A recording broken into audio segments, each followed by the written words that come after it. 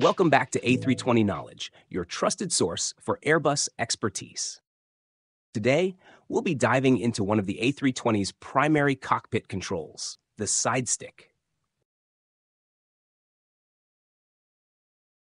The Airbus A320 ditches the traditional yoke for a pair of side sticks, one for each pilot.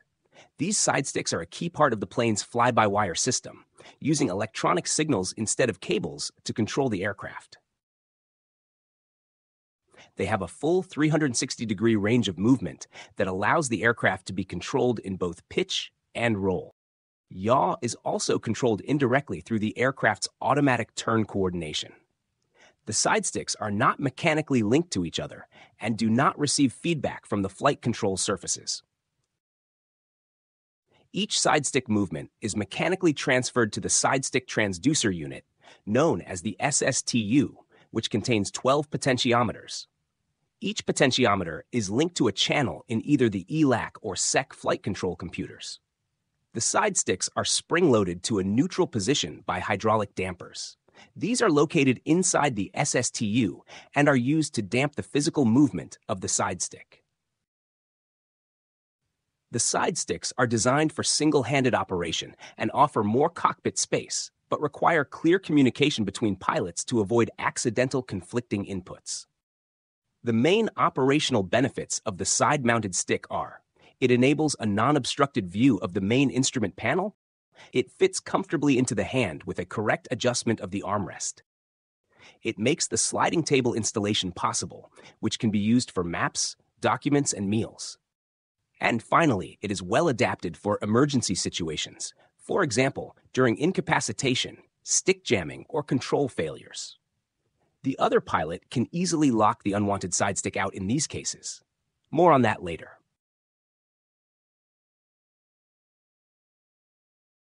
The side stick position is indicated by a Maltese cross on the primary flight display.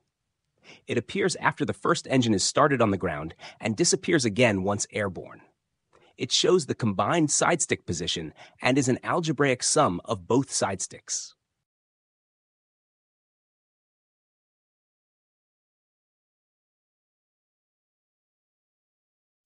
Four corners of a box are also displayed on the PFD to indicate the maximum side stick deflection possible. If a side stick is deflected by more than 3 degrees in either pitch or roll on the ground, the Flight Control System display page will replace the Wheel System display page for 20 seconds. This logic is introduced for the flight control checks during taxi. The normal side stick position for takeoff is a half down deflection. This is increased to a full down deflection for takeoffs in a tailwind or above certain crosswind limits.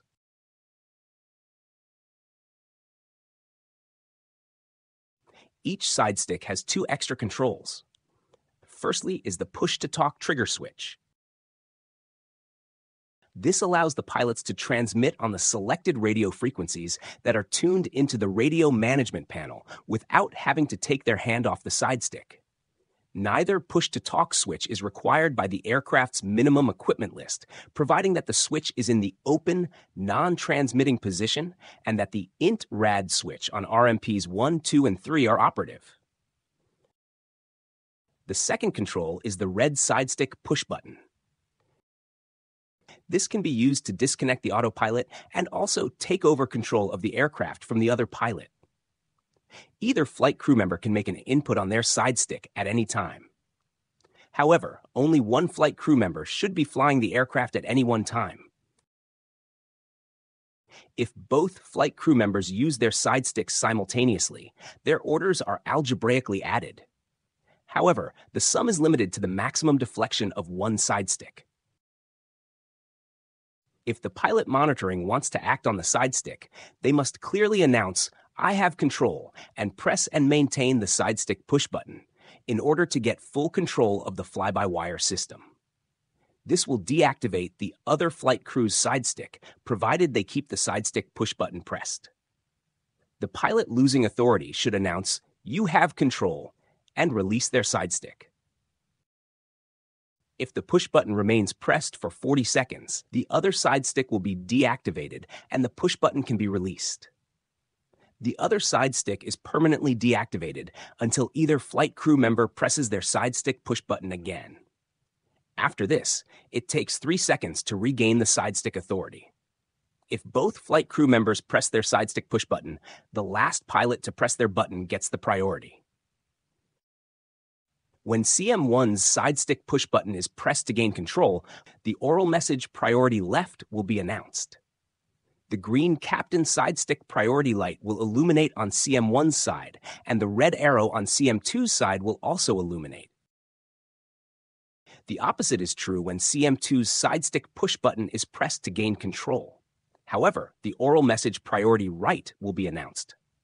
The green first officer side stick priority light will illuminate on CM2's side, and the red arrow on CM1's side will also illuminate.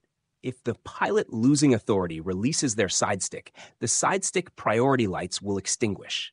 If they do not release their side stick, the lights will remain illuminated for as long as an input is sensed on their side stick. Dual inputs on both side sticks should be avoided and will trigger oral and visual alerts. In this case, both green side stick priority lights on the glare shield illuminate and the dual input voice message is activated. This message is repeated every 5 seconds until either 1. One side stick stops their inputs. 2. A side stick is deactivated. 3. A master warning push button is pressed. Or 4. The emergency cancel push button is pressed. There is no possibility of simultaneous input from the flight crew and the autopilot. When the autopilot is engaged, a solenoid keeps the side sticks locked in a neutral position. The autopilot can be disconnected instinctively at any time by a firm pressure on the side stick in any direction. If a flight crew member applies a force above a given threshold, both side sticks unlock and the autopilot disengages along with the cavalry charge oral alert. Airbus recommends using the side stick push button to disconnect the autopilot above any other method, and recommends pressing it twice to disconnect both autopilots.